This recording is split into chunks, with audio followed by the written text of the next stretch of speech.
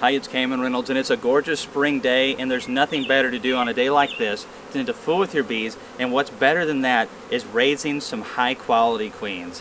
I absolutely love raising queens. It's one of my favorite, if not my favorite part of beekeeping. You can go to your best hive and or your best hives and you can raise queens and daughters off of them and spread that throughout your whole bee yard.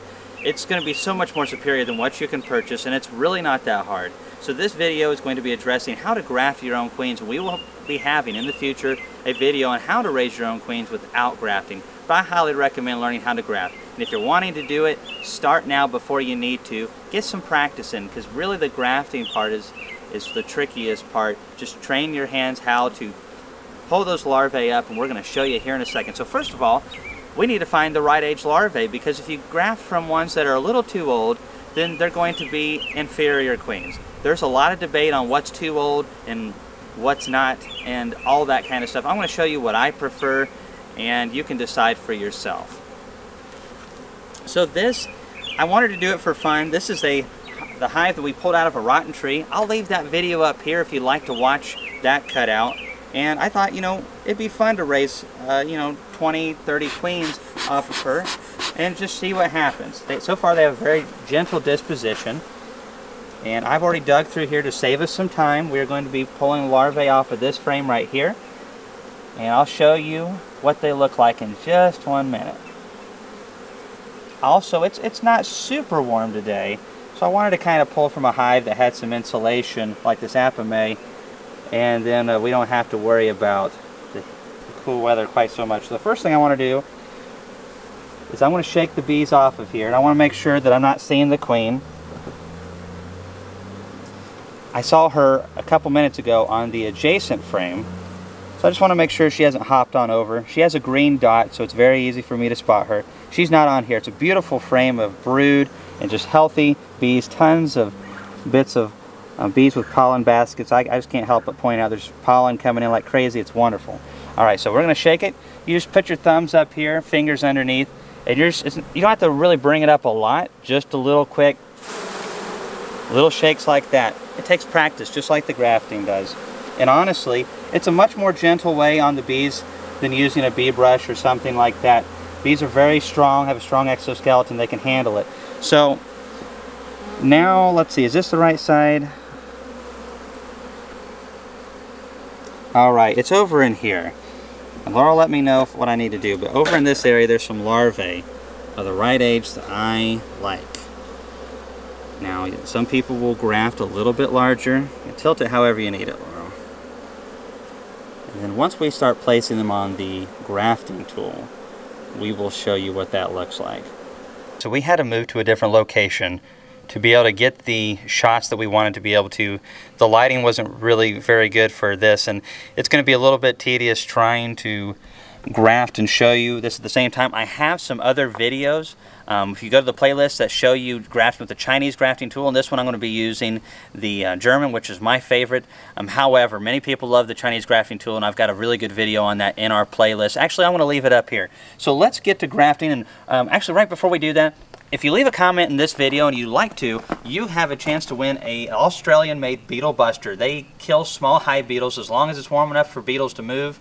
Um, beetles will die with it. I've got one myself. We'll be doing a couple more videos this year on that. And I've got some videos in the playlist um, of our um, YouTube channel. So if you'd like to enter to win that, just leave a comment below. We will be drawing the winner from this video only.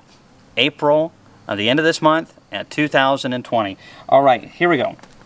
So we have our JZBZ bar, JZBZ cups.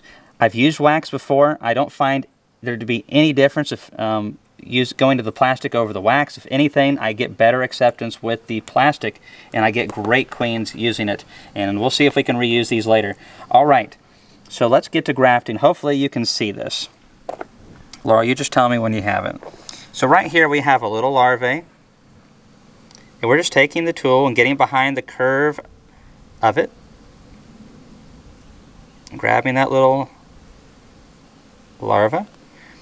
And there we have it right there. Has a little bit of jelly surrounding it, which is great. And then we're going to take it And then we are going to drop it right in the cell. And now we are just going to do the same thing again. This one right here is a little bit tinier. Sorry about all the debris in the way, but I'm trying to make it to where you can see what's going on. It's really not that hard. It's just like anything else, you got to do it. This one is very, very young. It's very ideal. Very tiny. These larvae are probably a little chilled. You need to do this quickly and setting this up has made it to where it's taken a little while for us to, to get this done. It's only in the 60s today, maybe 61, 62. Ideally, I would be doing this in my truck or something. That's a little one. All right. I felt like I scraped that one up against the sidewall just a little bit, and so when in doubt, just discard the larvae or place it back into the cell. We want larvae that are undamaged. So that was a, a really good one right there. Good size. I don't know if you can see that. We'll show it to you down in this cell over here. And I like to plant my finger on the rest of the bars and then just slowly drop it in. There we go. So that worked out really good. You can use royal jelly if you have it. Now, it's easy to get some. We're fixing to show you the hive that we're going to be dropping all these into and it's just packed full of bees, packed full of nutrition. And what you can do to get your own royal jelly to make this a little bit easier is to place a frame like this with a lot of larvae into that colony about two days before you're ready to graft. This will do two things. One, they will be drawing a lot of emergency queen cells and they'll be packed full of royal jelly. You can use this, take the tool like this or something like that, and drop it down into these cups and just it just takes a little bit. But when you have that in the bottom of these cups, and you drop those larvae, they don't even touch the bottom of these cups. Just, they just hit that royal jelly and they just pull right off the tool. Makes it very handy for new beekeepers. Plus, it keeps them moist longer. You know, when I'm dry grafting, which is what this is called without priming these cups with royal jelly, I'm just basically one, two, three, four. I can do one of these bars in you know, a minute or so. And that way, uh, they don't get too cool. I'll, a lot of times I'll do this in my truck or a car that's pretty warm this time of the year, unless it's 80 or 90 degrees, and then I don't have to worry about it. Um, you also, if you're going to have a bunch of them going at once, you want a hot, moist towel to drape over them so they don't dry out. Um, the other thing that it'll do, putting a frame like this in, doesn't only give you those um, access to royal jelly if you want it, but it also gets all of those bees in the mode of producing a lot of royal jelly. This is extremely important.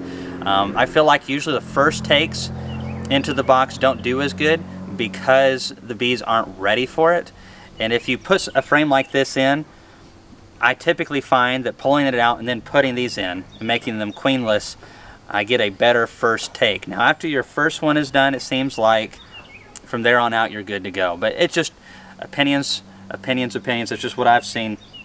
However, that's um, that's pretty much all there is to it. It takes a little practice just to kind of get um, a feel for it, but you're just going behind them. And I really like the size of larvae that we're grafting from. That's a really nice one right there. Let's see if that light helps at all. Does that help, Laurel?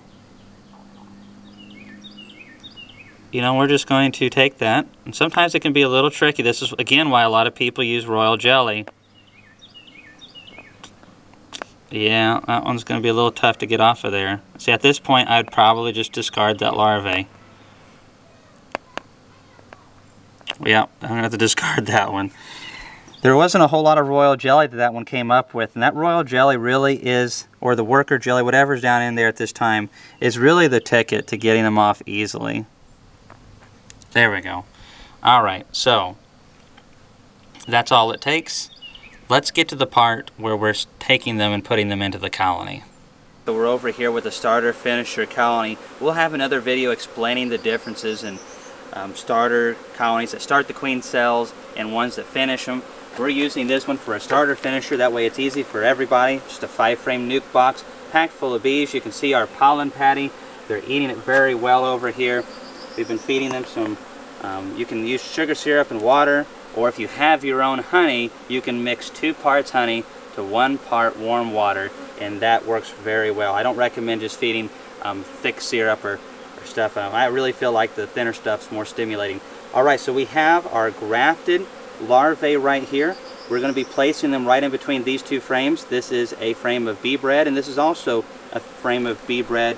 And we're putting them right in between it so they have plenty of that natural um, fats. We also have the pollen patty and the um, frames of honey over here and a frame of capped brood. We showed you in another video how we set this up. I'm going to leave that link up here if you want to see how we did that. It's not that hard, but they have to be very packed. They have to be very queenless. They need to be very young. And they need to feel like they have an excess amount of nutrition if you want an excess amount of high quality queens. So there we have it. We've painted the top of this frame and that way it's very easy for us to remember where it's located. Um, I, I, went ahead and left this on the ground and that's what I typically do because um, a lot of people ask me why I shake bees so much but really it's much safer for the bees. Um, if I shake them up here it's going to make it harder for me to get this in. There's just so many in here.